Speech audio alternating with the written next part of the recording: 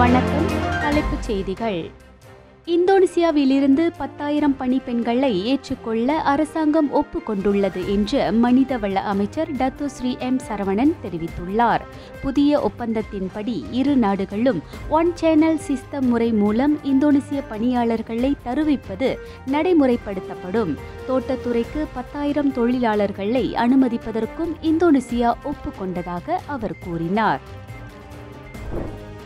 ஊழல் நம்பிக்கை மோசடி பண மோசடி தொடர்பாக தம் மீது சுமத்தப்பட்ட நாற்பத்தி ஏழு குற்றச்சாட்டுகள் தொடர்பில் தற்காப்பு வாதம் புரியுமாறு முன்னாள் துணை பிரதமர் ஜஹித் ஹமீதிக்கு கோலாலம்பூர் உயர் நீதிமன்றம் உத்தரவிட்டுள்ளது.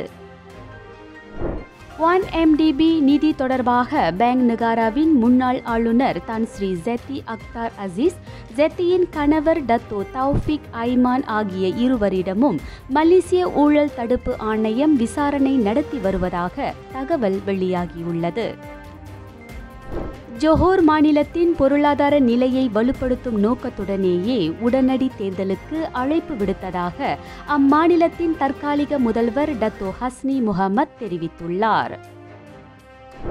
புதிய விமான நிறுவனங்களுக்கு உரிமம் வழங்குவது விமான போக்குவரத்து துறையின் மீட்சிக்கும் ஆரோக்கியமான போட்டிக்கும் வழிவகுக்கும் என அனைத்துலக வாணிப மற்றும் தொழில் அமைச்சர் டத்தோ ஸ்ரீ அஸ்மின் அலி கூறியுள்ளார்.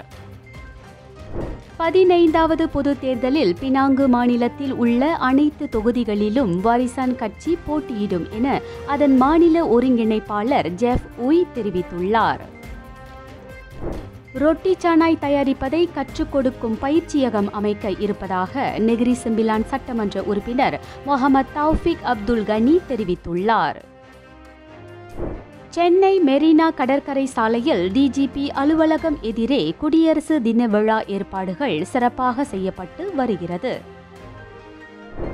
பாரதிய ஜனதா கட்சியுடனான அரசியல் கூட்டணியின் காரணமாக இருபத்தி ஐந்து ஆண்டுகள் வீணாகிவிட்டது என்று மராட்டிய முதல்வர் உத்தவ் தாக்கரே கூறியுள்ளார்.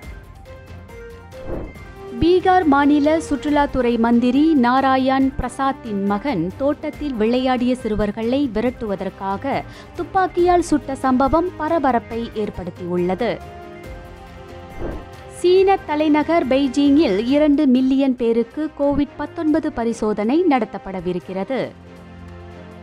தைவானின் ஆகாய தற்காப்பு வட்டாரத்தில் முன்னெப்போதும் இல்லாத அளவில் சீன ஆகாய படையைச் சேர்ந்த முப்பத்தி ஒன்பது போர் விமானங்கள் ஊடுருவியதாக தைப்பே தெரிவித்துள்ளது. மோகன் ராஜா இயக்கி வரும் தெலுங்கு திரைப்படம் காட்ஃபாதர் இந்த படத்தில் கௌரவ வேடம் ஒன்றில் நடிக்க சல்மான்கான் ஒப்புக்கொண்டுள்ளார். சையத் மோடி பூப்பந்து போட்டியில் மலேசிய ஜோடி சாம்பியன் பட்டத்தை வென்றுள்ளது. மலேசியாவின் மான் வெய் சோங் தி கான் உன் ஜோடி இந்தியாவின் கிருஷ்ணா பிரசாத் விஷ்ணுவர்தன் ஜோடியை வீழ்த்தி வாகை சூடியது. மேலும் இது போன்ற செய்திகளை தெரிந்து கொள்ள நம்பிக்கை இணையதளத்தை காணுங்கள். நன்றி வணக்கம்.